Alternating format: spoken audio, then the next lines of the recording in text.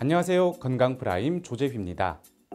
나이가 들면서 또 여자들이 출산을 한 후에 많이 호소하는 질환 중 하나. 바로 관절 관련 질환입니다. 퇴행성 관절염, 류마티스 관절염 등 종류도 다양한데요. 그래서 오늘은 최근 관절 수술에 많이 사용되는 인공 관절에 대해 정확하게 알아보고 궁금한 점들을 살펴보려고 합니다. 인공 관절은 합성수지, 금속, 세라믹 따위의 인공적인 재료를 이용해 만든 관절을 뜻합니다.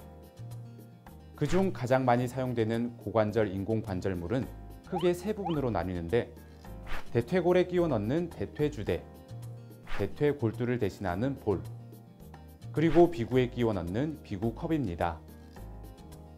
인공관절은 주로 자신이 가진 관절에 수명이 다한 경우 수술 시 사용합니다. 일반적으로 퇴행성 관절염의 경우 관절의 수명이 다했다고 표현하는데요. 평균적으로 60대가 되면 30%, 80대가 되면 50% 이상이 퇴행성 관절이 옵니다. 또 실제로 인공 관절을 가장 많이 사용하는 원인의 질환도 퇴행성 관절염인데요. 보통 퇴행성 관절염은 1단계부터 4단계까지 구분을 하는데 3단계 이상부터 수술을 진행하게 됩니다. 자, 그럼 이제 인공관절에 관련된 몇 가지 궁금증들을 살펴볼까요? 첫째, 인공관절의 수명은 얼마나 되나요? 이는 가장 많은 환자들이 의료진에게 묻는 질문이라고 합니다.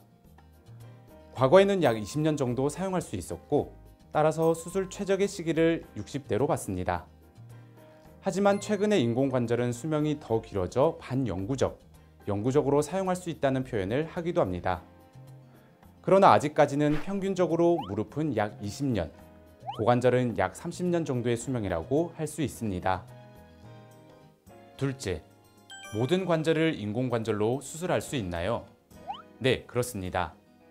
최근에는 모든 관절을 인공관절로 수술할 수 있습니다. 가장 대표적으로 슬관절, 무릎 인공관절이며 다음은 고관절, 그 다음은 어깨나 발목, 팔꿈치 관절 순으로 진행합니다.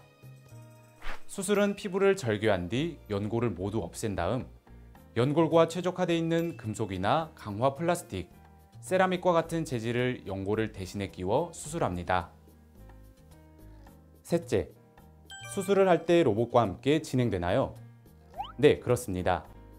과거에는 엑스레이를 찍고 템플레이트라고 하는 투명 책받침을 이용해서 사용할 크기를 측정해 수술을 진행했는데요. 최근에는 마코 로봇이라는 로봇을 함께 이용합니다.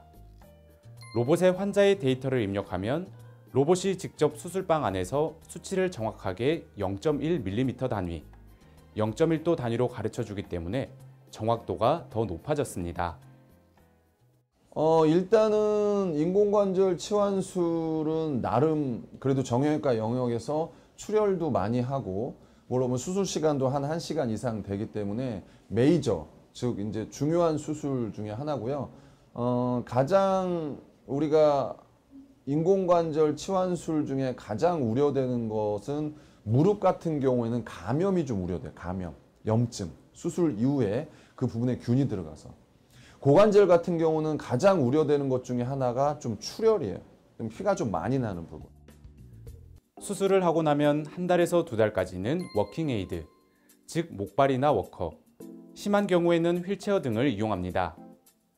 그러다 차차 스스로 움직이는 연습을 하게 되고 이후 적절한 재활과 운동으로 회복합니다. 과거에 비해 수술의 양이 많아지고 관련 전문가들이 늘면서 많은 사람이 관심을 갖는 인공관절.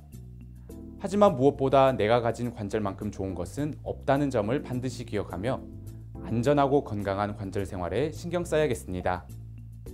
지금까지 건강 프라임 조재휘였습니다.